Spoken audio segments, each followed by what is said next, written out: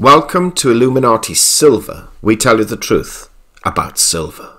Today is Monday, the 11th of March 2019, and we're asking the question Will gold ever be used to support or back a world currency? Last year, we published a video for Inner Sanctum members entitled Why Silver Will Never Be Used to Support a World Currency and we reissued this video to all members just less than a week ago. And it received over 10,000 views so far, which is an excellent viewing for our videos in that period of time.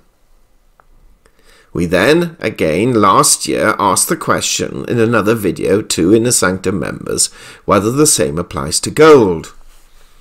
Well, this video will condense what we produced before and bring it right up to date to March 2019.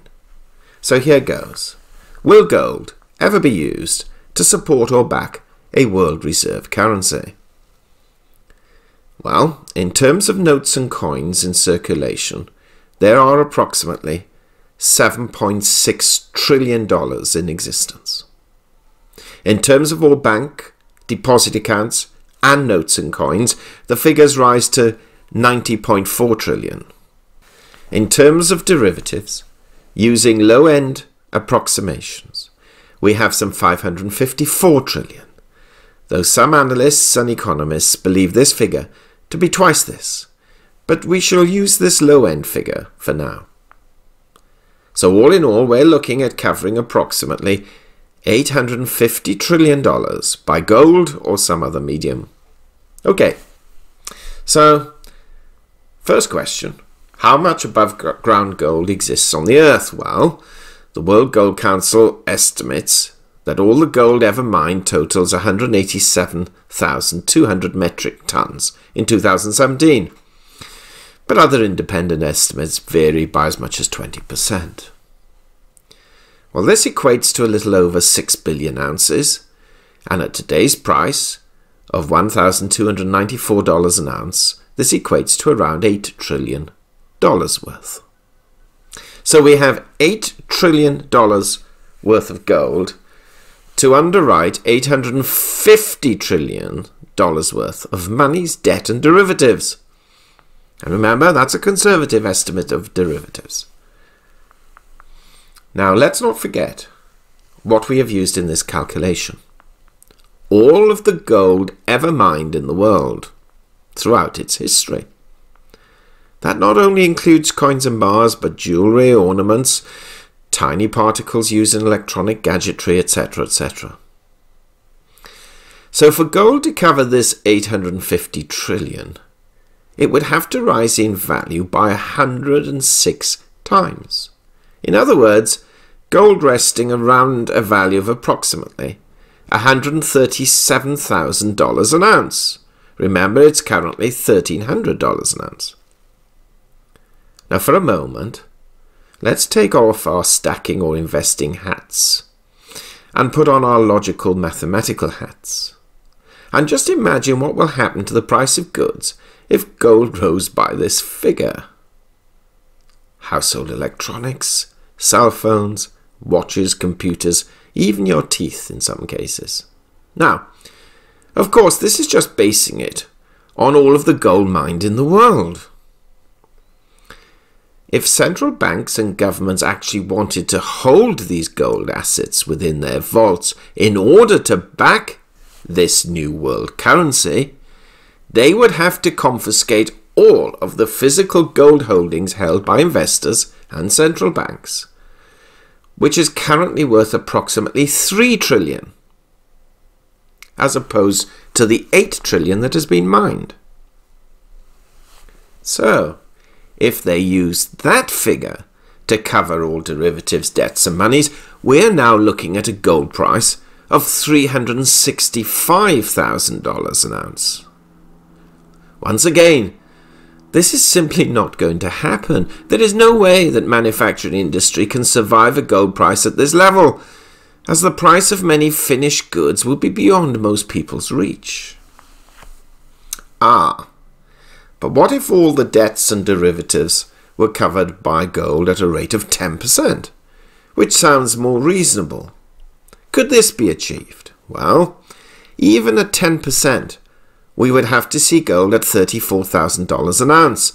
Again, not a likely scenario. And let's be totally frank. This is with central bank confiscation of all gold coins and bars worldwide, which is not going to happen. In addition, as with silver, we would also need to see gold come out of the ground at a rate of growth of around 3% per annum to account for GDP growth and population increases. One must then ask, how feasible is this? And for how long can it be sustained? And again, what will happen when gold eventually runs out? We are already hearing some stating that we've reached peak gold already. So, what do we do when supply disappears? Working on the principle that they are right. So, the likelihood of the world adopting a gold backed currency is extremely slim. However, we can foresee some countries adopting a partial backed gold currency, and of course, if there was an economic reset and all debts and derivatives were written off, then a new currency could be formed with a limited level of gold backing However, the carnage that such a debt jubilee or reset would cause, no one could accurately predict the outcome of or its consequences. As fund values holding these derivatives as, as some form of asset would indeed collapse, and those relying on pensions and investments from holding those assets could indeed suffer considerably. The natural response to this argument, of course, is the question well, why are central banks buying or even holding gold? Well, the answer, frankly, is that in the event of a currency meltdown, its own currency meltdown, it is one of the few commodities that could be exchangeable with other countries for credit or goods.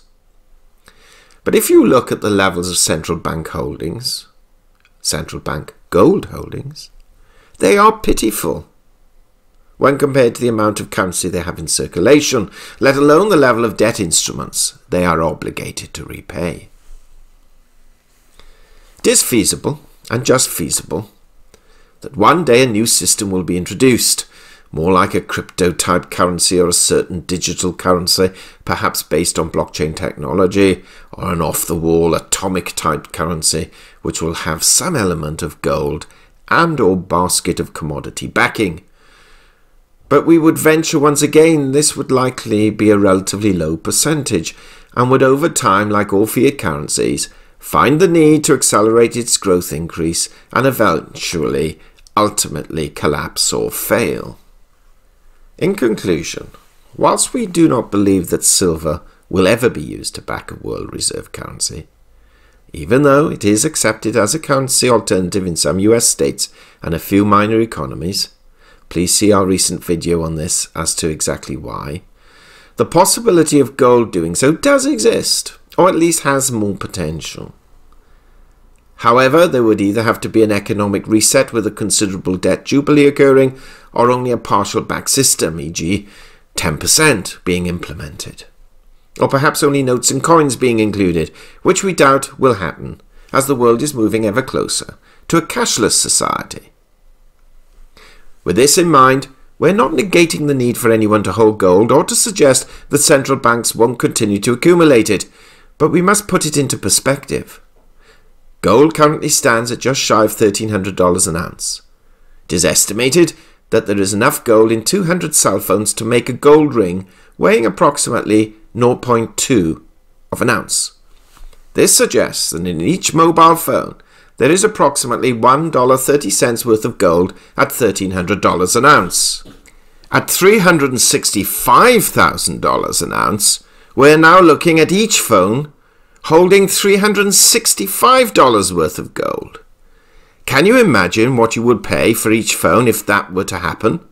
And that's an item holding an absolutely tiny amount of gold in its structure. Imagine what a gold filling would cost, or a new computer. Does not take much imagination as to the viability of such a system being adopted. As much as we would all like to see gold prices rise so that our gold holdings appreciate in value, We also have to be realistic. And whilst we believe long term gold is a great and sensible asset to hold, we are also not expecting to buy a 300 foot yacht with the modest amount that we hold. And frankly, neither should you. Unless your holdings are considerably more than modest, of course. So, we hope you keep this in perspective, and if you disagree, then by all means state why. If you find any flaw in our argument, by all means highlight it. We shall be interested to read it and respond accordingly. We hope you have found this video interesting and informative, and if so, please give it a thumbs up and share it on social media. Please ensure that you have subscribed to our channel and press the bell sign so that you are notified of any future videos. Also, kindly visit our website at illuminatisilver.com, and if you haven't already done so, please subscribe either as a free or paying member for regular email updates and offers. Disclaimer Illuminati Silver owners come from a background of banking, international wealth management, and economics. Having now retired from these worlds, we are not qualified to give investment advice. Therefore, this and other productions must not be deemed to be giving such advice and merely represent the personal views of its owners.